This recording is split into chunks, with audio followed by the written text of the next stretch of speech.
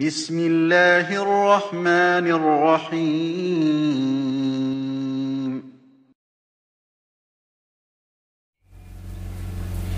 Assalamualaikum warahmatullahi wabarakatuh Selamat pagi anak-anak Alhamdulillah wa syukurillah Kita dapat berjumpa lagi hari ini Semoga anak-anakku tetap sehat, tetap semangat Tetap menjalankan ibadah puasa dengan bahagia.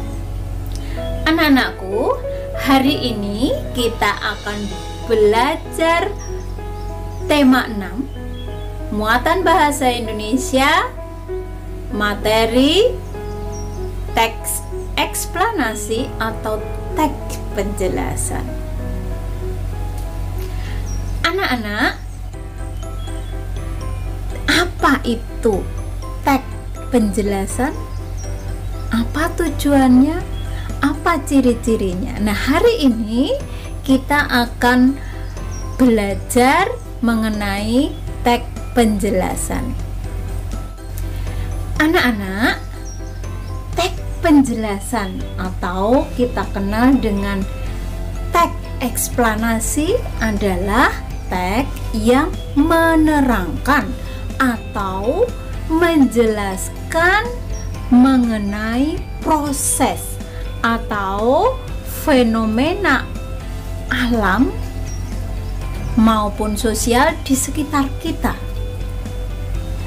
Teks yang berisi tentang proses mengapa dan bagaimana kejadian atau peristiwa alam atau sosial, ilmu pengetahuan, budaya itu terjadi.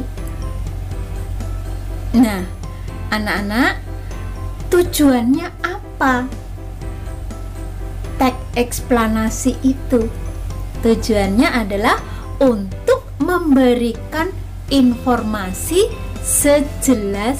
sejelas-jelasnya kepada pembaca agar paham atau mengerti tentang fenomena yang terjadi. Teks eksplanasi atau penjelasan dapat dijumpai dalam kehidupan kita sehari-hari.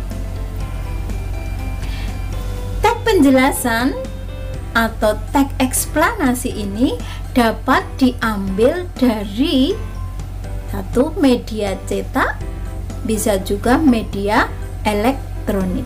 Media cetak bisa dari koran, majalah, tabloid, dan lain-lain.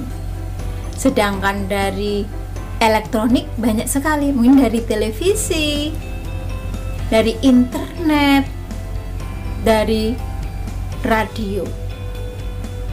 Nah, itu anak-anak. Teks eksplanasi atau teks penjelasan. Nah, ciri-cirinya apa saja anak-anakku? Baik anak-anakku, Ciri-ciri dari teks penjelasan atau eksplanasi adalah yang pertama, dalam bacaan atau teks tersebut ada tiga bagian, yaitu pembukaan, isi, dan penutup. Tapi penutup tidak harus ya anak-anakku. Kemudian yang kedua, informasi yang dimuat berdasarkan fakta-fakta kemudian bersifat ilmiah atau keilmuan misalnya contohnya sains kemudian sifatnya informasi saja in, informatif. Ya jadi yang membaca itu tidak perlu uh, terpengaruh dengan informasi itu. Selanjutnya anak-anak karena kompetensi dasar kita adalah untuk meringkas teks penjelasan dari media cetak atau elektronik maka langkah-langkahnya apa saja anak-anakku yang pertama bacalah dengan cermat dan teliti dan diulang-ulang anak-anakku yang kedua mengetahui judulnya. Judulnya apa? Kemudian menentukan kata kunci tiap paragraf. Anak-anak, apa itu kata kunci? Kata kunci adalah kata-kata penting setiap paragraf.